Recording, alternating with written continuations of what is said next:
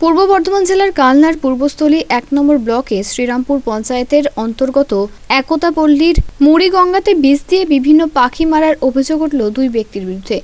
ওই দুই ব্যক্তিকে স্থানীয় মানুষের তৎপরতায় নন্দনঘাট থানার পুলিশ আটক করে। বৃহস্পতিবার স্থানীয় বাসিন্দারা লক্ষ্য করেন, ওই মুড়িগঙ্গার ওপর অনেক পাখি মরে পড়ে রয়েছে। স্থানীয় বাসিন্দারা ওই দুই ব্যক্তিকে সেখানে দেখে তাদের জিজ্ঞাসা করতেই তারা বলে, মাছ খেয়ে নিচ্ছিল পাখিরা, তাই বিষ দিয়েছি। এরপরই ওই দুই ব্যক্তিকে ধরে নন্দনঘাট থানার পুলিশকে খবর দেন স্থানীয়রা। পাখি নিয়ে সকালবেলা ঘুম থেকে উঠে বিরাজ করতে করতে এখানে আসি, দেখি দুটো লোক পুকুরে ঘোরাঘুরি করছে। তাকিয়ে দেখি প্রচুর পাখি মরে মরে রয়েছে।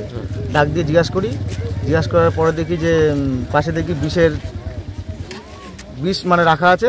পরে জিজ্ঞাসা করলাম, বলল যে আমরা মাছ খেয়ে নিচ্ছে বললে আমরা বিষ দিয়েছি। তখন থানাতে আমরা খবর দিই, থানা থেকে লোক আসে, লোক এসে নিয়ে যায় ওদের দুজনকে ধরে। কোথায় বাড়ি ওদের? বাড়ি কোথায় আমরা বলতে পারব না। তো এই পাখিগুলো কি ওরা নিয়েছে? পাখিগুলো সব আমরা জল থেকে তোলা করিয়েছি। হ্যাঁ। যে জল থেকে সব তোলো এই পাখি তো মারা যাবে না এইভাবে। তুলে তারপরে ভ্যান এসছে ভ্যান এসে নিয়ে গেছে। আনুমানিক কত পাখি হবে? ষাট সত্তর পিস কি কি পাখি এগুলো? পানকুড়ি আছে বগ আছে। কি কারণে মারা গেল এরা? বিষ খেয়েছে বিষ দিয়েছে। কখন দিয়েছে কিছু জানা গেছে? কখন দিয়ে সেটা বলতে পারব না আমরা বিরাট ভোরবেলা উঠে দেখি যে এরকম মরে যাচ্ছে সব পাখি। কি ওষুধ দিয়েছে? ওষুধের নামও বলতে পারব না। কুকুরমারা ওষুধ বলল? কুকুরমারা ওষুধ। এর আগে কি হয়েছে কোনো এরকম ঘটনা? না এই প্রথম। এরকম এই প্রথম হয়েছে। পুলিশ এসে ওই দুই ব্যক্তিকে আটক করে নিয়ে যায়। এই ঘটনায় এলাকায় চাঞ্চল্য ছড়িয়ে পড়ে। এ তো বিষ খায় পাখিদের মারা তো দণ্ড অপর দণ্ডনীয় অপরাধ। কারণ পাখি পশু প্রাণী মানুষ সবই প্রকৃতি অর্থাৎ ঈশ্বর সৃষ্টি করেছেন। এবং এই পাখি এরা তো পরনির্ভরশীল। এরা আমরা যদি খেতে না দিই, তাহলে ওরা কোথায় খাবে? আর এর ধ্বংস যদি হয়, প্রকৃতির ভারসাম্য হারিয়ে যাবে। অতএব এই যারা এই কাজটা করেছে, তাদের প্রশাসন থেকে মানে পরম শাস্তি দেওয়া উচিত, এটা আমি মনে করি।